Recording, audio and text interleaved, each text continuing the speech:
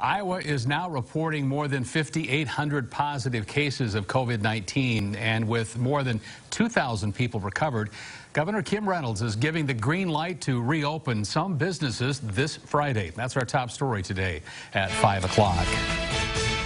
Restaurants, fitness centers, retail, and retail stores previously closed may reopen at 50% of normal operating capacity.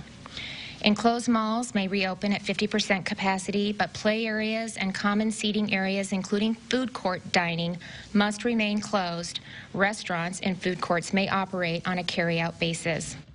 Additionally, Governor Reynolds says that she's taking a targeted approach to lifting restrictions on those businesses.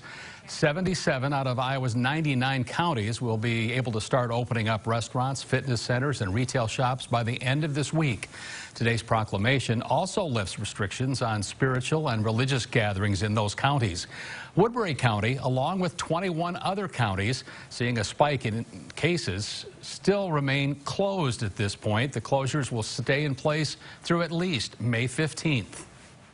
You can see that the areas are that are closed, that continue to be closed, are areas where we have seen significant increase in the number of cases, um, not only over the last 14 days, but even even a little bit further than that. So we'll continue to take a look at the data and the uh, various um, metrics that Dr. Pedati uh, spoke about, and then we'll make additional adjustments moving forward. But as we've said all along, as you can see on that map, Woodbury County, the only county in western Iowa not to be opened back up. For now, recreational activities like sporting events and social gatherings are still limited to 10 people statewide through May 15th.